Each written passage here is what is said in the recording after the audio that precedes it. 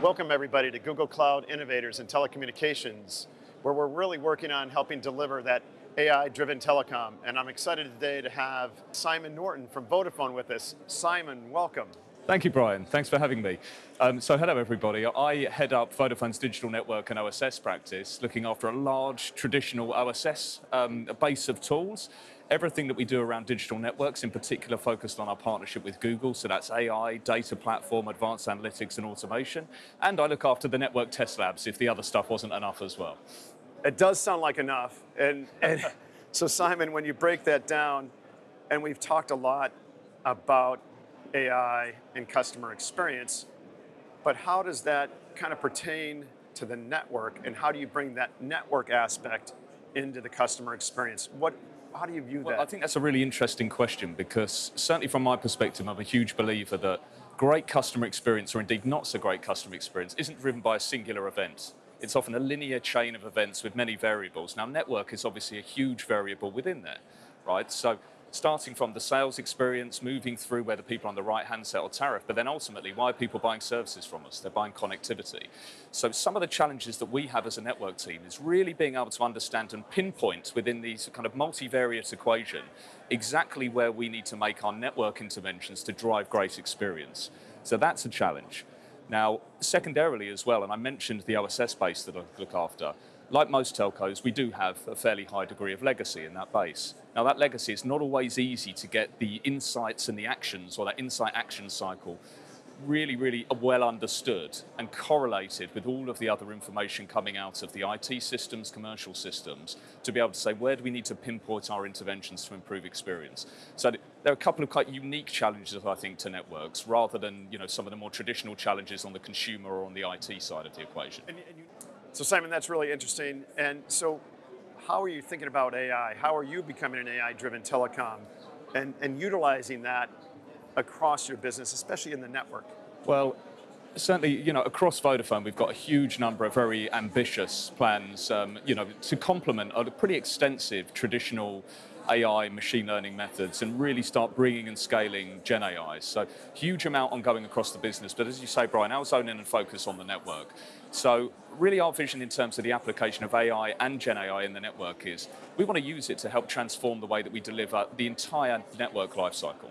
So everything from how we plan our investments in the network, so that we can target our investments for customer experience, for revenue growth, for churn reduction, right the way through to the way that we optimize the network. And I'm very, very excited around how Gen AI can lower the barrier to accessing very complex network data insights and reduce down that insight to, insight to action cycle time, which is so crucial to deliver the experience that our customers expect. And then as we move further through the life cycle into operations, I really think that AI operations coupled with Gen AI is going to be game changing for us. So we're really, really proud of what we've achieved so far in our AI ops journey, which started about four or five years ago, um, where we've been able to deliver some phenomenal capabilities in terms of network monitoring automation, zero touch um, trouble ticket handling, lots of stuff around field engineering. But really when Gen AI comes in is when we can't deliver a closed loop journey using the traditional methods coupled with automation, I really see Gen AI as being brilliant to co-pilot the human when they're getting involved in things like complex incident management. So putting the picture of the network data, network knowledge, previous incidents and how we solve them into the hands of that second line engineer so they can fix the problem quicker less problems, fix more quickly, better customer experience. It becomes really, really powerful, especially if you're sitting in that seat or you're in the NOC and you're trying to troubleshoot for sure. And you're doing some interesting things with the device side of that too, and how you're monitoring devices as well, correct? Yeah, well, that's right. So um, within my team, and actually one of the digital products that we're extremely proud of, which I'm happy to say we just migrated to GCP back in December, really great, really great project, um, is called NetPerform. So what we're able to do, NetPerform is an advanced device analytics uh, capability which enables us to understand exactly how our customer from their device is experiencing our network. So we can couple that with the more traditional data feeds coming off the network customer experience management platforms, performance management platforms, and do some really cool things in terms of being able to correlate that data to deliver a more personalized experience towards our customers.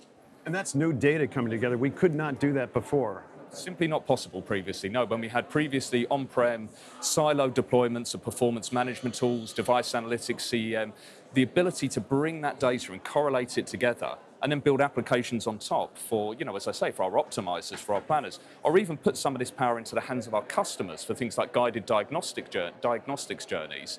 That simply wasn't possible. That's incredible and incredible progress, and it sounds like it's moving really rapidly. What, what do you think underneath? How do you set up for that rapid growth? If we kind of peel it back architecturally, yeah.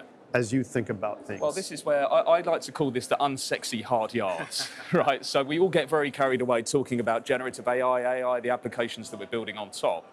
But actually, I think one of the great decisions that Vodafone made, very prescient decision, was the investment and the big bet that we made with you guys on the Google Cloud side five years ago. So where we stand today, we now have hundreds of network data sources integrated to the cloud greater than two petabytes of network data available to us at any given time. And the real power here is that we're not just doing it from the network side. So we've got our commercial data, our IT data, our customer experience data, and that enables us to mesh data sets and build really exciting products in a way that we never could before. And actually, it's also super healthy for the organization because it promotes cross-functional working and collaboration across the teams in completely new ways relative to the previous ways of working. Well, so I, I, think you just mentioned a really critical piece too, and it's not the technology, it's how do you get teams to start to work together and leverage the technology. Is there something that you're doing at Vodafone to really increase that adoption and start to see this acceleration. Yeah, absolutely. And uh, you know, I'm, I'm a great believer in that. I think it's a maxim that you guys use a lot: put smart, creative people together and get out the way, right? That's and right. I think that's really important. And as leaders, that we allow the teams to have the creativity to do that. And I think there's one area that I'd really highlight here, and it's around our smart capex, or what we're now evolving to Gen AI-powered next-generation network investment. You cannot build a product like that without having data products from commercial customer experience feeds, revenue per site information, all of the network data. That requires teams to work in a fundamentally different way, bringing together data sets, but also bringing together expert, uh, um, expertise, because my team are not necessarily the most expert on some of the commercial data sets, and vice versa when it comes to commercial on the network data sets. So building out these cross-functional teams and promoting that culture of collaboration and data sharing, rather than kind of jealously guarding one's data because data equals power, if you do that, you get it right, you get incredible results. Breaking down those barriers becomes really critical and creating that collaboration. Smart people in silos, not so good. Exactly. Smart people working to together is tremendous. Couldn't agree more. So if we think about things in two years or three years, where would your business be? Where will it be? Well, I'm extremely ambitious, and we've got some very, very bold plans on the um, on the on the AI side of things. So if I start from the, well, actually, let me start from, from the base. So in three years' time, we will have concluded our largest ever program of OSS change. And whilst we get very excited about the cloud, the data layer, Gen AI, we cannot ignore the underlying OSS because it's mission critical in its nature. And if we let the legacy persist, then we will struggle to achieve everything that we can as we move up through the architecture. So in three years' time, we will have finished our OSS simplification and modernization program and reduced our legacy base in Vodafone by over 600 tools and applications. That's massive, super strong foundations. 600 tools and applications being reduced down. Yep, so uh, reduced our total, total volume down by 600 tools and applications. Wow. So about a 50% reduction in the absolute number of OSS tools that we've got. And we're doing that, and actually we're doing a lot of that work by working with you guys. So I want to give one really good example I'm proud of. So traditionally, across our markets, we had multiple network performance management solutions, lots of proprietary solutions, often different solutions per network domain. Now, what we're doing in Vodafone is we created this product called Unified Performance Management. That's enabling us to remove over 100 traditional PM systems replace them with a unified system where ultimately all of our network performance data will be presented in the Google Cloud and crucially made accessible to be consumed in AI models, in other products as well. So that's a really neat example around how we're leveraging the Google investment, everything that we can do on AI, but also how it can help us to power simplification of the more traditional OSS. Creating a huge amount of operational efficiency Absolutely. and really helping drive that business forward and being creative on top of that. Well, that's it. And you think it creates a virtuous circle because the alternative, and we had to, if we had to integrate over 100 plus data sources, economically that becomes challenging.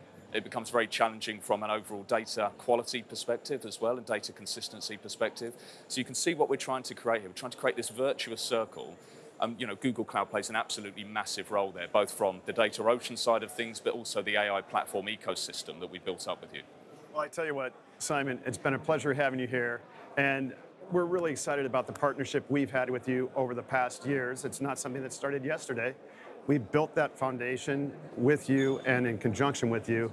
And uh, we really appreciate that partnership. Thank you, Brian. I'm really looking forward to the future in this brave new world of everything that we're going to do with generative AI over the next year or two. Simon, it is a brave new world. And thanks again. Thanks, you. That's it for now for Google Cloud Innovators in Telecommunications.